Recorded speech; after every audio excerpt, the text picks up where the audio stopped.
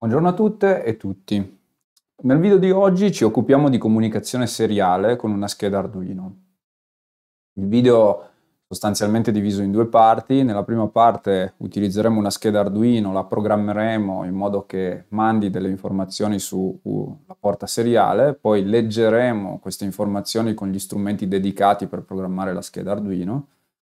Nella seconda parte invece utilizzeremo uno script Python per andare a leggere eh, le informazioni che Arduino sta comunicando sulla porta seriale.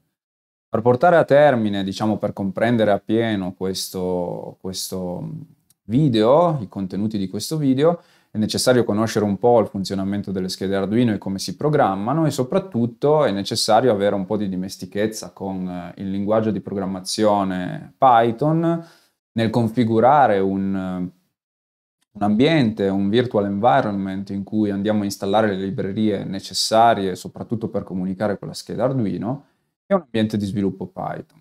Pertanto, eh, se non avete un'infarinatura di tutto questo, soprattutto per la parte Python, vi consiglio di dare un'occhiata al video di cui vi metto il link eh, qui sopra che spiega appunto per diciamo come installare e configurare Python e un ambiente di sviluppo sui tre principali sistemi operativi che sono Windows, eh, macOS e Linux.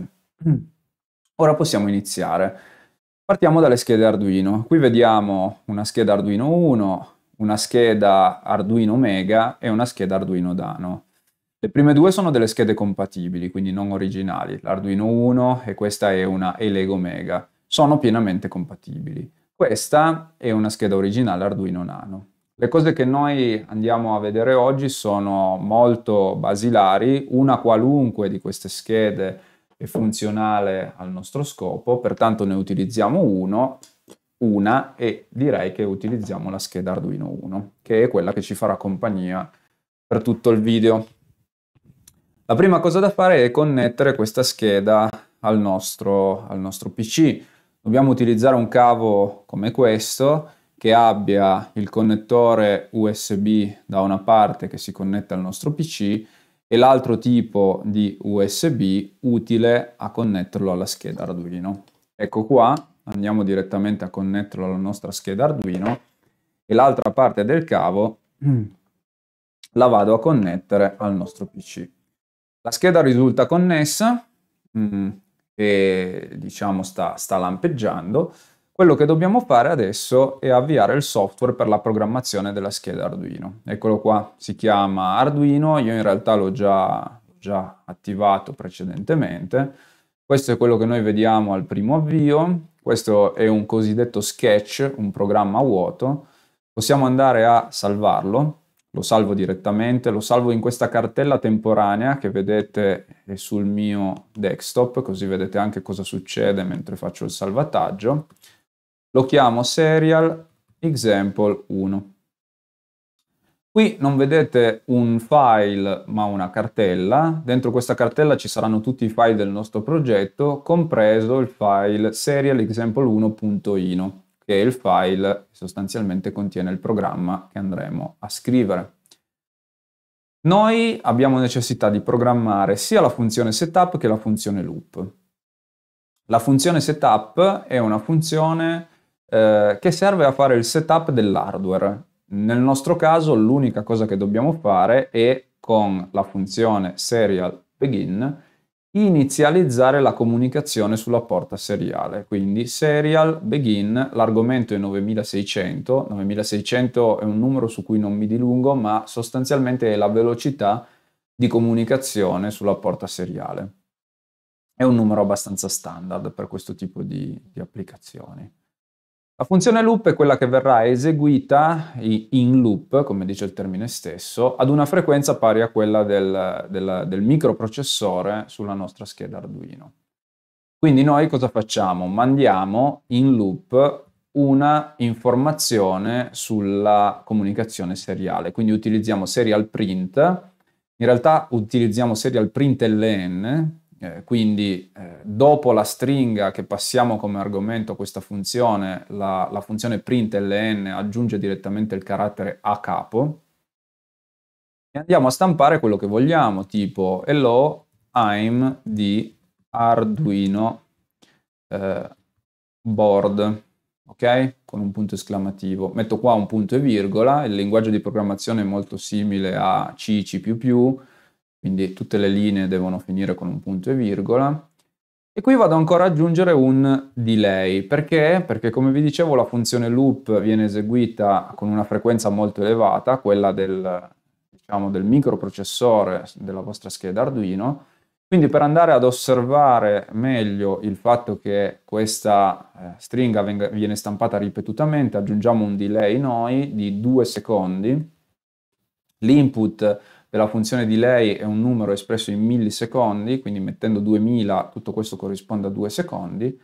E quindi se tutto questo funziona, ogni 2 secondi la nostra scheda Arduino dovrebbe stampare la stringa Hello, I'm the Arduino board.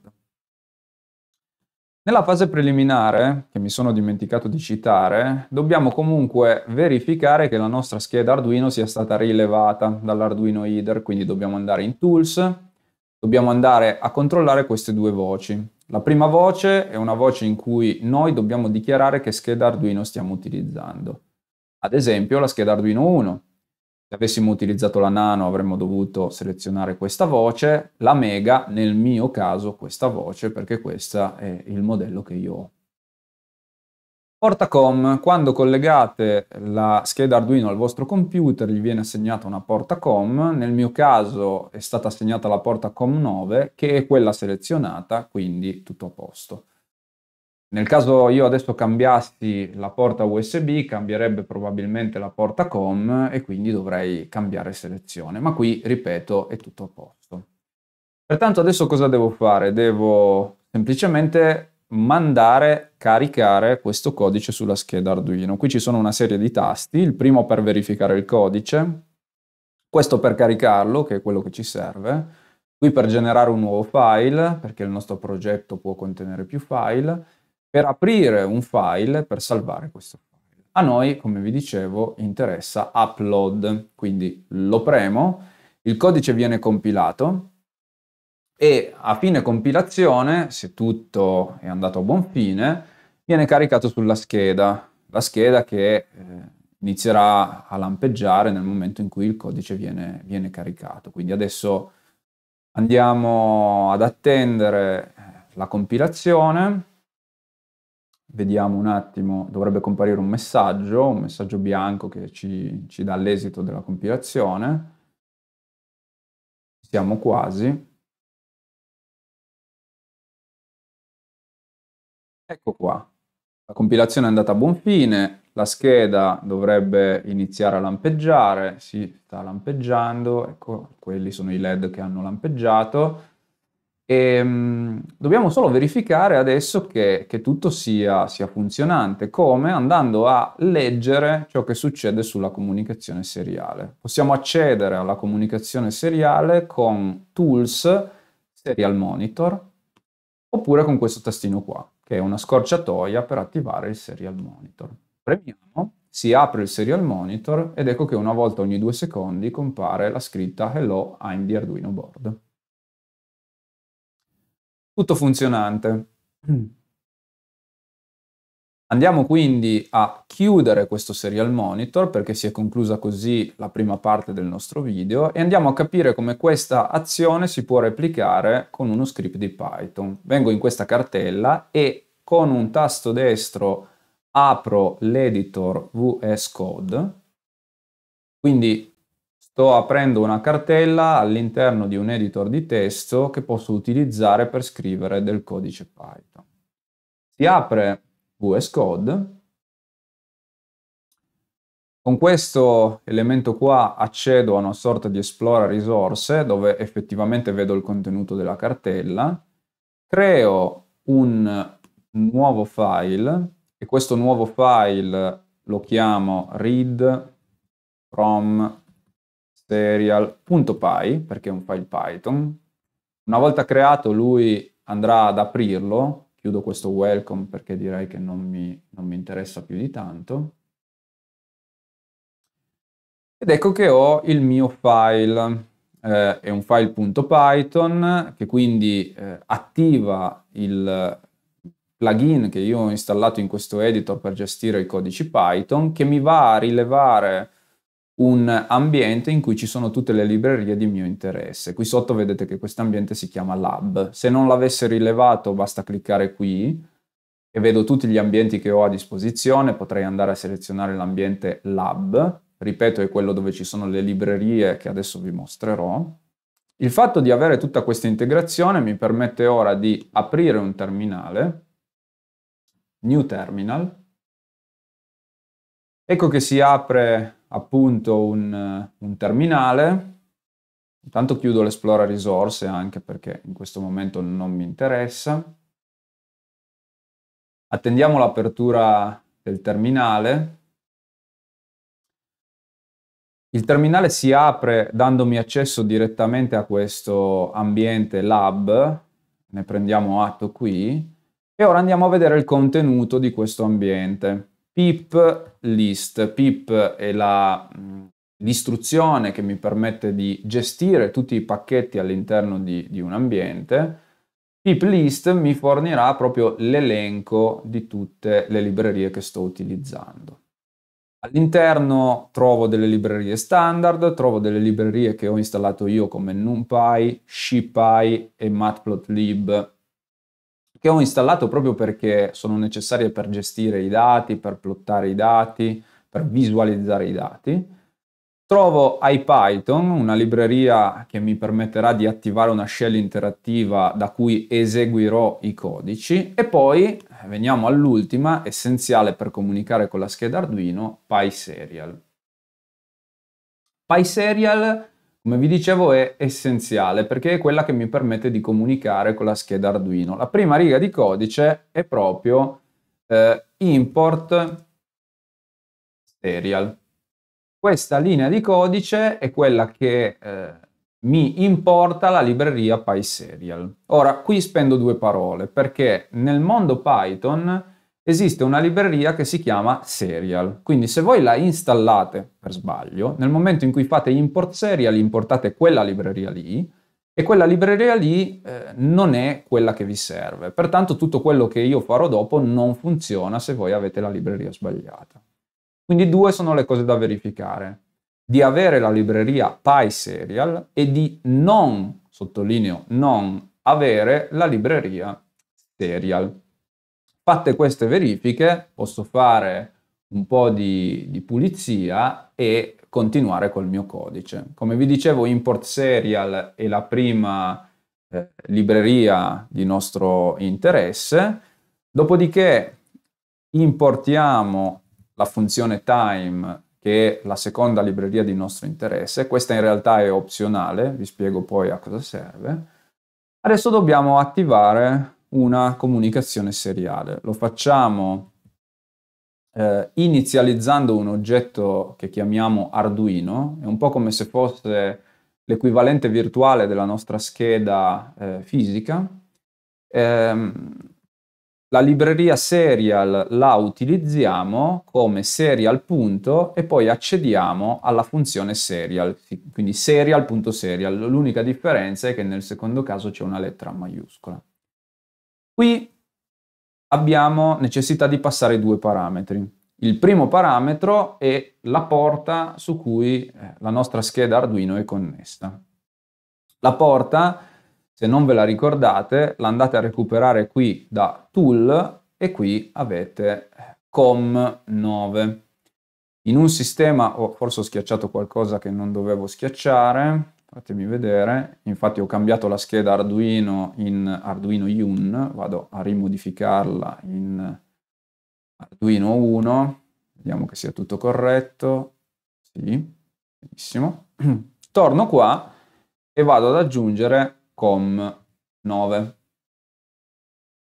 Il secondo parametro è la velocità di comunicazione, 9600. Praticamente ho attivato una comunicazione seriale. Adesso devo replicare la funzione loop. La funzione loop è una funzione che viene eseguita continuativamente, quindi qua un equivalente potrebbe essere while eh, true.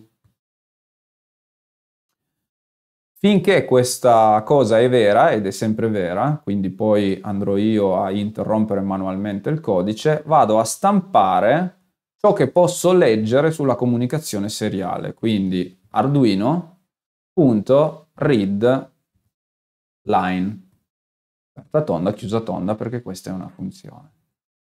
Questo codice replica esattamente ciò che succede con il serial monitor. Vogliamo provarlo? Vado sul mio terminale, attivo IPython, che è una shell interattiva,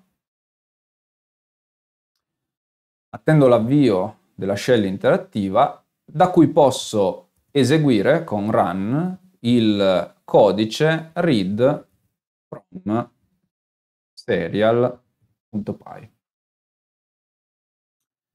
Se lo eseguo, vedrò una volta ogni due secondi la scritta hello I'm the Arduino board. Noto però che questa scritta è un pochettino strana, c'è una B iniziale, ci sono degli, dei, dei, caratteri finali slash R slash N, perché questa è una, è una byte string. Con CTRL C interrompo il codice e vado a risolvere questa situazione qua. Dunque, io sto stampando questa questa stringa. Questa stringa va decodificata, quindi aggiungo delle parentesi tonde e applico a queste parentesi la funzione decode. Vado a decodificare la stringa con un tipo di codifica. In questo caso è sufficiente la decodifica hash perché non sono presenti caratteri strani. Con questo stratagemma dovrei aver risolto questo problema e, potrei, e posso vedere una stringa un pochettino più bella. Quindi vado a fare un po' di pulizia e vado a rieseguire il codice. Ora, prima di rieseguirlo, vi faccio notare la seguente cosa. Con CTRL C io ho interrotto lo script, ma non la comunicazione seriale. Questo script quindi alla linea 4 tenterà di avviare una comunicazione seriale quando in realtà ne esiste già una attiva e quindi mi darà un errore. Lo attivo ed ecco l'errore. L'errore mi dice che non può aprire la porta COM9 perché è già occupata, l'accesso è proibito. Come si risolve tutto questo? Si risolve chiudendo l'equivalente virtuale del serial monitor con arduino.close. Una volta chiuso, se avvio questo script, riesce ad aprire una nuova comunicazione seriale e di conseguenza mi stampa la eh, stringa, che questa volta è una stringa decodificata, quindi in maniera più leggibile, in maniera più chiara. Posso interrompere lo script e per dovere di cronaca vi faccio capire, adesso qua chiudo il serial monitor, quindi per dovere di cronaca vi faccio capire che lo stesso problema noi potremmo averlo se qui dal, dal tool di Arduino noi andassimo ad aprire il serial monitor, che ovviamente mi dice hello I'm di Arduino board, e poi da, quei, da qui, dallo script Python, io tentassi nuovamente di accedere alla, alla, comunicazione seriale. Chiaramente lui mi dice che quel tipo di comunicazione adesso è occupata ed è occupata dal serial monitor. Quindi Arduino close corrisponde a chiudere questo serial monitor. Se adesso rieseguo lo script, lui non mi darà nessun errore e mi fornirà eh, ad output hello I'm the Arduino board interrompo la comunicazione seriale e chiudo virtualmente questo serial monitor. Faccio pulizia e adesso passo al perché di tutto questo. Come mai mi interessa leggere con Python eh, delle cose che posso leggere con il serial monitor? Per farvelo capire vado a modificare questo sketch, lo salvo, eh, lo rinomino in serial example 2 e vado a simulare delle eh, acquisizioni di dati. Inizializzo una variabile float al valore nullo. La variabile globale, quindi posso accedere a quella variabile anche qui nella funzione loop. La prima cosa che faccio è stampare il valore di k senza andare a capo con la funzione serial print Dopodiché vado a aggiungere sulla stessa linea uno spazio, un punto e virgola, un altro spazio e poi eh, basta. Dopodiché vado ad aggiungere, andando poi a capo, quindi utilizzando print ln, il valore di k al quadrato. Questo è l'OAM di Arduino Board, lo tolgo.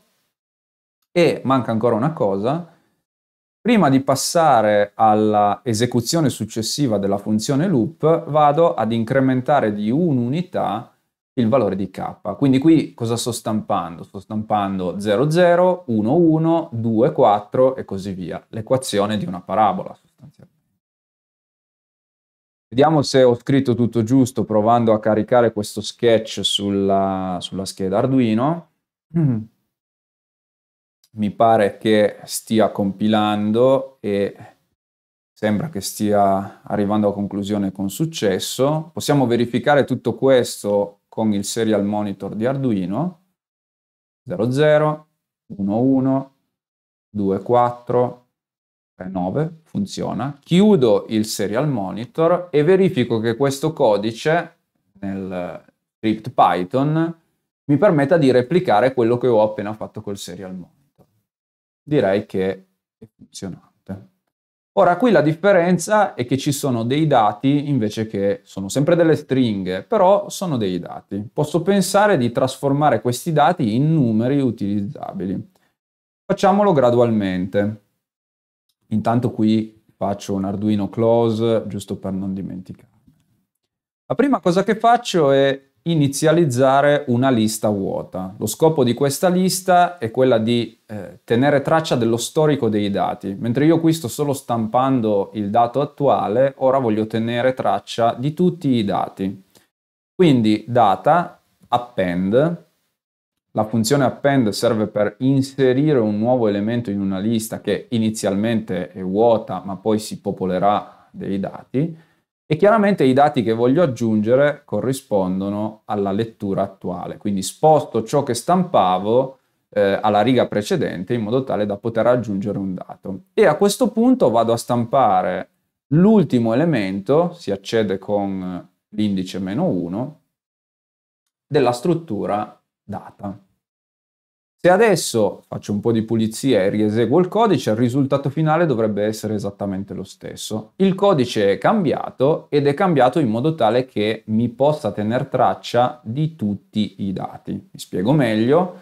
Se vado ad interrompere il codice, adesso avrò la struttura dati che ha tutto lo storico dei dati, ma non sono ancora utilizzabili perché sono dei numeri, perché sono una stringa, perché la singola stringa contiene sia k che k quadro. Quindi partiamo da quest'ultima eh, osservazione. La stringa contiene sia k che k quadro. Cominciamo a dividere la stringa, la stringa. E per prima cosa, intanto chiudo il serial monitor. Direi che questa è la singola stringa che contiene sia k che k quadro. Se metto tutto tra parentesi tonde e quindi applico a questa stringa la funzione split e questa funzione split che serve a separare separerà utilizzando il punto e virgola, quindi otterrò un qualcosa che separato, diciamo, questa stringa verrà separata in due stringhe e come punto di separazione utilizzerò il punto e virgola. Quindi se eseguo questo codice, faccio un po' di pulizia, e vado a rieseguire il codice, direi che otterrò più o meno lo stesso risultato, ma non sto più stampando una stringa, sto stampando una lista e questa lista contiene due elementi, ogni elemento è una stringa, la prima è k, la seconda è k quadro. Mm. Interrompo il codice e adesso vado a fare la conversione in formato numerico, quindi num data eh, metto i numeri in una nuova struttura e vado ad aggiungere un elemento in numData con la funzione append, utilizzo la, lo strumento list comprehension dove vado a dire di convertire in float, quindi faccio float di k for k in data meno 1. Data meno 1 è l'ultimo elemento che ho inserito dentro la struttura dati, vale a dire una di queste righe qua. Come vedete è una lista. Ciclo sugli elementi di questa lista, che sono stringhe. Per ogni elemento di questa lista, quindi per ogni stringa, converti la stringa in un float. Il risultato sarà che numData avrà per righe delle liste, ogni lista avrà due elementi, il primo elemento sarà k e l'altro k quadro, ma stavolta saranno dei numeri. Quindi se adesso io eh, stampo numData, qui credo di dover ancora fare Arduino close, un po' di pulizia e rieseguo tutto, questo codice dovrebbe stamparmi i dati 00, 11, 24, 3, 9. Lascio andare un pochettino avanti l'acquisizione perché sono arrivato al punto finale dove vi farò capire l'utilità di tutto questo. Direi che posso interrompere l'acquisizione e farvi vedere che effettivamente adesso ho accesso a NumData. Tanto vado a chiudere anche se non è strettamente necessario perché non abbiamo più bisogno di, di leggere dei dati. Quelli sono i nostri dati, NumData. Mm? L'utilità è che adesso io posso ehm, importare delle librerie per gestire i dati come NumPy e ad esempio trasformare la mia eh, lista NumData in un NumPy array. Ciò che sto facendo è del tutto opzionale, serve a convertire NumData in una forma in cui per me è più semplice accedere alla prima colonna, che è k, e alla seconda colonna, che è k quadro. La prima colonna la metto in una variabile x e ci accedo con NumData, dopodiché due punti, vuol dire tutte le righe, 0 che è l'indice della prima colonna. Come vedete x è un numero che va da 0 a 9. La seconda colonna la posso associare alla variabile y facendo due punti, cioè tutte le righe, 1 che è l'indice della seconda colonna. y è un numero che va da 0 a 81. Adesso posso importare una libreria per fare visualizzazioni di dati, come matplotlib, Dopo che questa libreria è stata importata faccio un po' di pulizia così potete leggere lassù in alto e faccio un plot della variabile x eh, e della variabile y, quindi qua vedremo y in funzione di x. Questo plot lo possiamo configurare un pochettino, anche questo è opzionale, sto dicendo che voglio un colore azzurrino, questo è il primo colore, si chiama C0, vi sto dicendo che lo voglio in linea continua e sto dicendo che voglio i marker a forma circolare. Chiudo questa stringa, che è solo una stringa di configurazione, do invio. Il plot è stato eseguito, ma non è ancora stato renderizzato perché non sono in modalità grafica interattiva. Con PLT Show andrò a visualizzare il grafico. Quindi il grafico adesso viene generato, eccolo qua, e qui abbiamo il nostro grafico.